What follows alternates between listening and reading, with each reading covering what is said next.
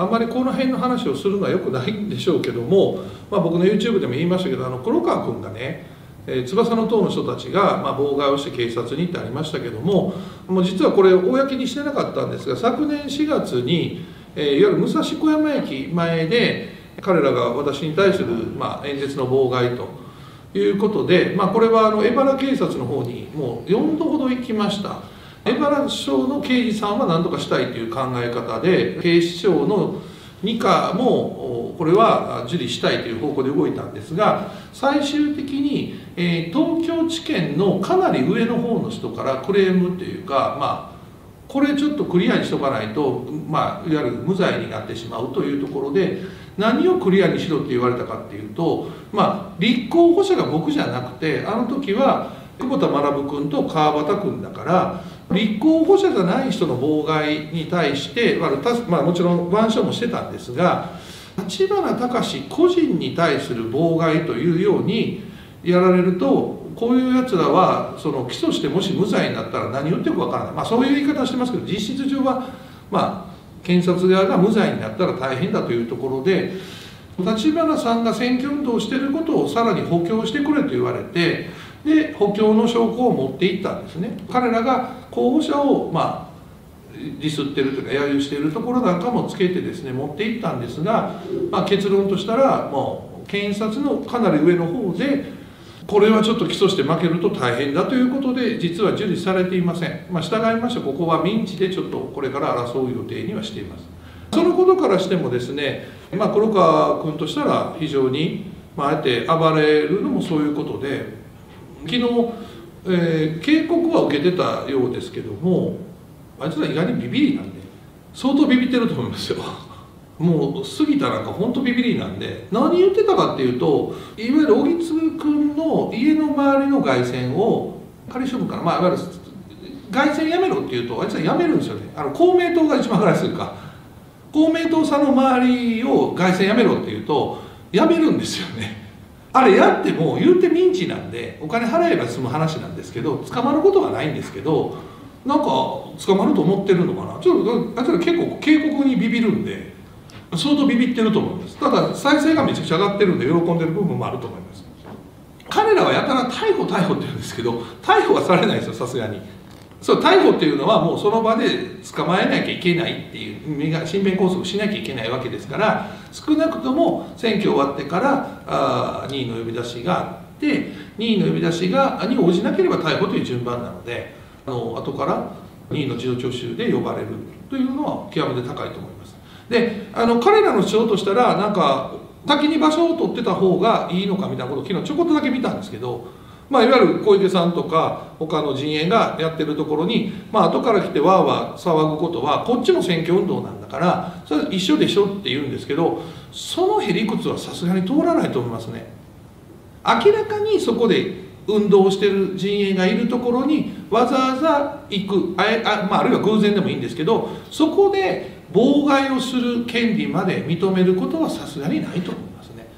それよりも有権者の聞く権利。選挙運動を聞くことによって投票先を選ぶ権利が優越すると思いますので、まあ、それは昨日警察の方は黒川君に説明をしたんだろうと思いますね。で彼らの言い分は全然通らないです。であとあの昨日も YouTube で出しましたけど僕は暴力団からあの7000万借りてませんから明確に暴力団の住所と名前まで YouTube で公開しましたので少なくとも黒川とあそこにいる杉田は反社会勢力と密接交際者だというのは自白してますからね。僕が暴力団から2000万円借りた借用書を250万で買い取りましたって裁判の陳述書で出してきてますから。いやそんな買い取ったらあかんやん。なぜ暴力団に250万円も出すのよって。それがいわゆる法が禁止している警察が禁止している暴力団との経済活動いわゆる暴力団に対して資金提供していることを自ら認めてるわけですよね。ここのラインをしっかり持てるかどうかがジャーナリストや政治家の大事なとこなんですよ。でもその時に情報提供料とか出演料とか出したらそれこそその人が反社会勢力の可能性がめちゃくちゃ高い人にお金を出すことが密接交際者って定義づけられるわけで密接交際者っていうのはまさに経済的な協力関係っていうのが条件ですから。だから黒川自身は250万払いましたってなんかなんか自分正当化してますけどもうその払ってる時点で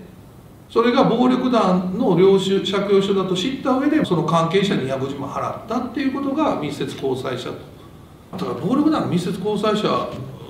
となればもうちょっと本当は口座とかも止めてほしいんですけどね。翼の党としてやってるわけですから翼の党の銀行口座なんかも本来は止めるべきだとは思いますね。経済活動止めるべきだと思います。もちろんそれをここまで僕は言ってるので翼の党に対して寄付をする人たちも場合によっては、えー、反社会勢力との密接交際者になりますからね。あとだからこれも僕が7000万借りていないのにそれを受理しなかったっていうかその放置している警察大問題ですよ。麻布署持って行ったんですけど理由もなく受理しないんですよ。名誉毀損の場合はそれを知った日から6ヶ月ってなってるんでもうそれ超えてしまってるんでね。あんまり警察の悪口言ったらこっちも怖いんだけどまあでも本当にあっこで去年の4月の黒川の選挙運動を選挙の自由妨害罪として検挙するか6月の僕に対して暴力団から7000万借りてるっていうので検挙していれば今回のようなこの15区のトラブルっていうのはなかったと思います。そういう意味ではちょっとあれどこやったかな何しらやったかなあれ上等書やったかな。あ言ってました。に行ってちょっともうあのちゃんとしてくれとそんな警告じゃなくてもう直ちにあの着手してくれと、まあ、これ言うとまた黒川とか来るんやろうけどね。このポスター協力してくれる人がわざわざ参議院会ここ来てくれたんですよ。これ言うと立ちましたね。怒られるかもしれませんがそこそこお金持ってる人なんでもう黒川君も山本太郎君も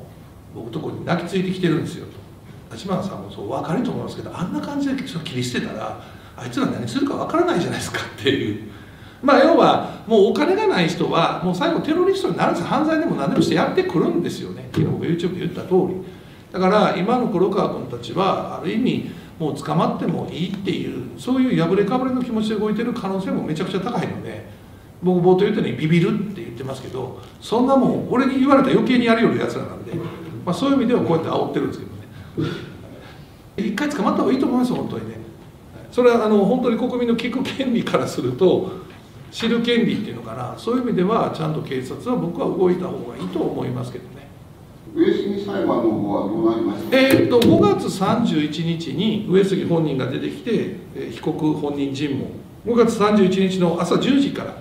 東京地方裁判所の415415法廷で上杉君が出てきて僕の反対尋問に答えると。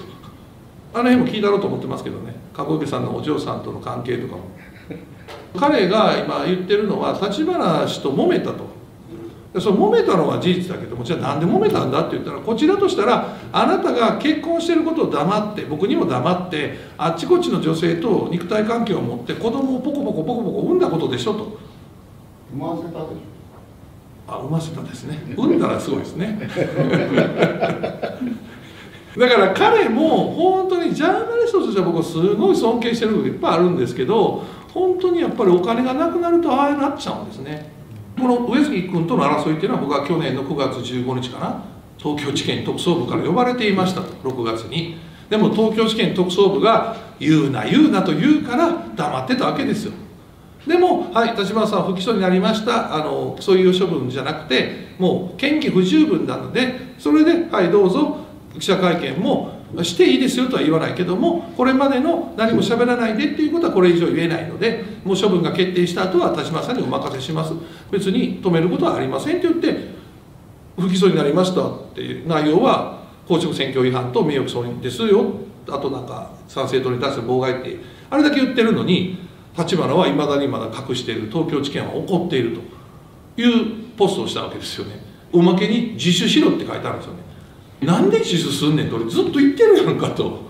警察や検察に言ってる人間に自首しろってわけわからんこと言ったわけですよね。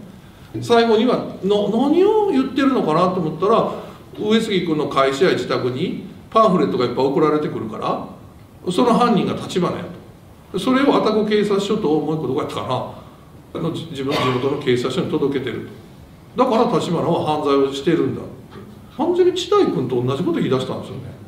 彼も自分の家にそのパンフレットがやっぱり来ると。何千件と来るっていうんですよね。ここに関してはもう100%とまでは言えないですけど99%更新教という人たちがいるんですよ。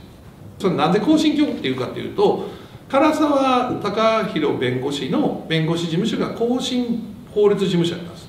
で唐沢弁護士が